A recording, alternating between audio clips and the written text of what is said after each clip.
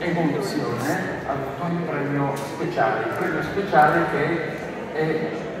eh, premio manufatto.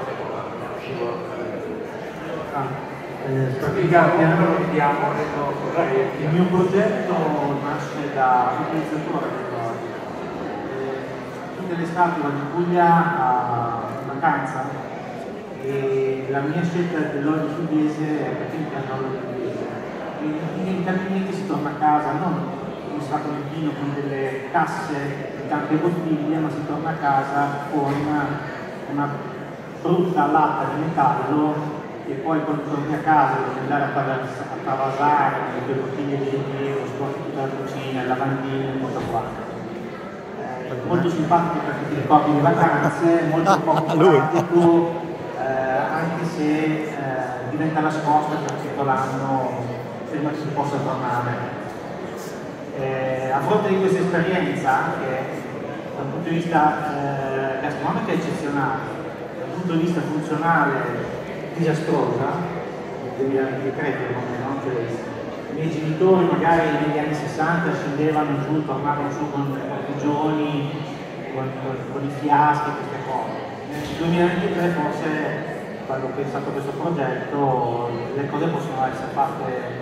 più belle, più funzionali, più comode. D'altra parte si cominciano a vedere su internet queste bagging box, che servono queste confezioni per i refilling, no? per trasportare in maniera più ecologica e più economica eh, le grosse quantità, che però rispetto al contenuto, che secondo me è una sostanza elevata e di pregio, eh, comunicavano invece sorta di, senza prendere nessuno, insomma, il tavernello sembrava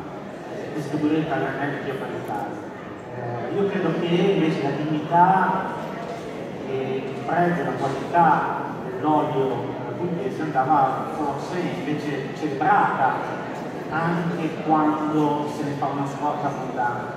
E quindi potesse esserci la possibilità di fare una leva commerciale, funzionale di design nel contenitore che possa promuovere sia la funzionalità dell'oggetto ma anche l'iconicità del contenuto. Eh, io credo che ci sia in tutta Italia delle differenze delle produzioni e dei gusti dell'olio quasi sempre affiancate a una produzione di ceramica. Eh, per me diciamo, la scelta più facile, essendo consumatore di olio pugliese, è stata quella di prendere una ceramica di grottaglie, delle ceramiche magnifiche, e eh, sfruttando già quello che loro fanno, che sono queste, questi pugni, loro chiamano, queste confezioni di ceramica molto grandi, che sono solo decorativi, l'idea di fare un contenitore per una bagging box che uno possa mettere, incilare dentro il contenitore principale, far uscire il rubinetto del bagging box e poi avere una oliera invece da tavola comune e pratica da poter riempire di molte cose. Questo fa sì che eh, sia la fidelizzazione al prodotto eh, del consumatore finale può essere consolidata, può essere più facilmente vendibile eh, non la singola bottiglia ma un contenitore più ampio, quindi vendere più prodotto anche al cliente finale e poi trasmettere l'inconicità di quel tipo di gusto, di quel tipo di olio può essere eh, veicolato attraverso queste immagini tradizionali caratteristiche proprio del luogo di provenienza. Eh, io l'ho fatto con l'olio di grottaglio, ma eh, mi posso immaginare che invece, non so, con eh, le ceramiche di Albissola si possa fare una cosa simile per l'olio di e, e così via per tutte le singole produzioni locali. Parliamo dell'olio spagnolo, per noi l'olio spagnolo è tutto uguale quando parliamo di olio italiano parliamo di differenze abissali nella degustazione, nei, nei profumi e nelle cose.